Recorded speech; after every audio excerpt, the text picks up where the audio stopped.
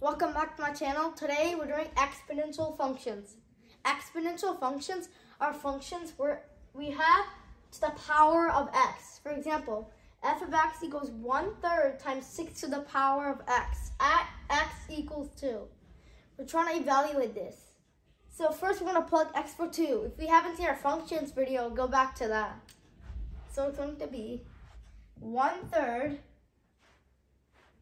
times 6 to the power of x at x equals 2.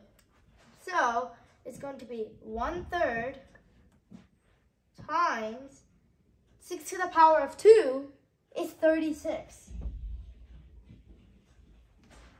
1 third times 36 is simply 36 divided by 3. So it's going to be 12. So that's what you get if you evaluate these function at the given value. Let's do another example, or a few more.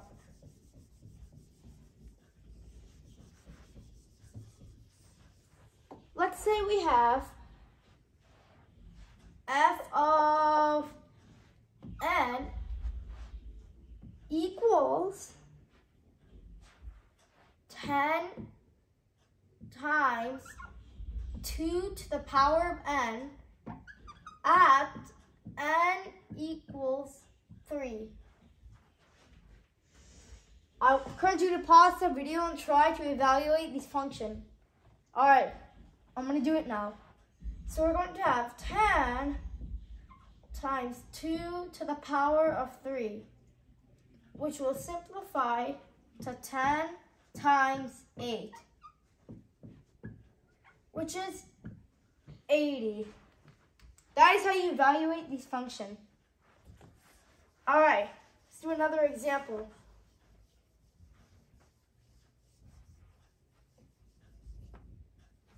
All right, let's say we have f of n equals 100 times 2 to the power of n at n equals 1. First, we're going to evaluate the. So, 100 times 2 to the power of 1. 2 to the power of 1 is simply 2, and 100 times 2 is 200. And that's what you get when you evaluate these functions. Let's give you a few more examples.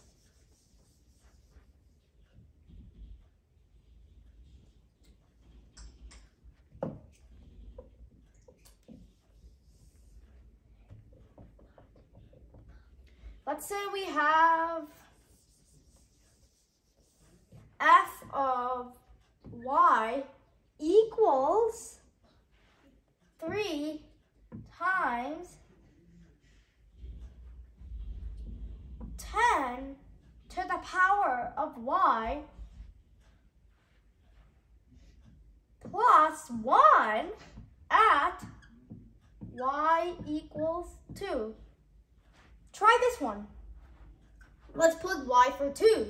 So it's going to be 3 times 10 squared plus 1. Now we have order of operations. We're going to do PEMDAS, so multiplication. So exponents is first. Sorry. So we're going to have 3 times 10 squared is 100 plus 1. Now we're going to multiplication before addition. So we're going to have 300 plus 1, which is equal to 301. That is what we get if you evaluate this function. Let's do one more example, and then we will end the video. Let me give you a tricky one, or a more complex one.